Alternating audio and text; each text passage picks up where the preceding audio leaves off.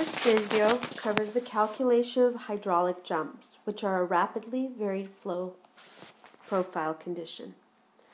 Hydraulic jumps occur when you transition from supercritical flow to subcritical flow.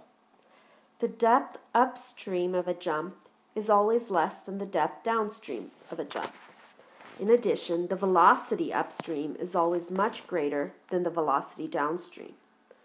The following schematic provides a depiction of a hydraulic jump, where it goes from supercritical flow to subcritical flow.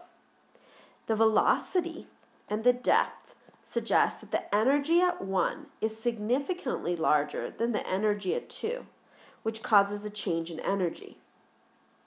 The momentum at points 1 and 2 are equal, and these problems of hydraulic jumps are always solved based on the momentum equation.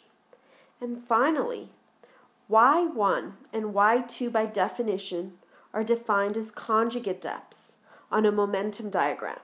So on a momentum diagram, for the same exact momentum, there are two possible depths, y1 and y2 which defines the depths downstream and upstream of a hydraulic jump. In order to calculate hydraulic jump problems, you also want to be able to determine the length of a jump. Therefore, the Froude number needs to be determined at the upstream location of the jump, where your, where your flow is supercritical. When you determine what your supercritical Froude number is, the length of the jump can be determined as the length being equal to 220 times the hyperbolic tangent of the Froude number at point 1 minus the number 1 divided by 22.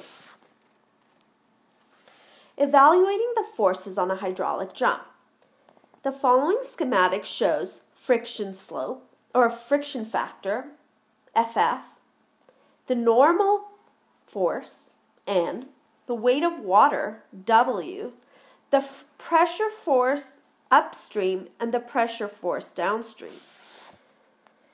The momentum equation states the sum of all external forces is equal to the change in momentum.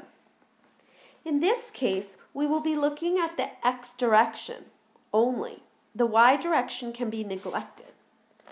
The sum of forces in the x direction the pressure force upstream minus the pressure force downstream minus the friction force is equal to the density of water times the flow rate times the change in velocity from the upstream to the downstream.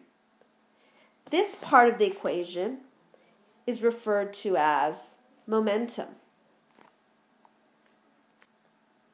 It should be noted that the friction force is assumed to be zero or negligible because the length of a hydraulic jump is relatively short and the effects of friction would, can be assumed to be zero. If we substitute the pressure force as the specific weight of water times the area of the cross section times the centroid of the depth at which the friction force is applied, we can calculate the following, where the left side of the equation is discusses the momentum, while the right side of the equation is regarding the forces associated with pressure.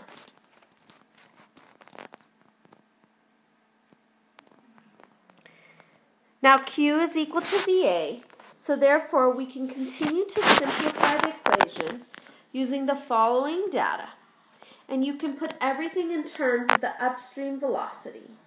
Now this is really handy if we had a trapezoidal channel or a channel that is not rectangular.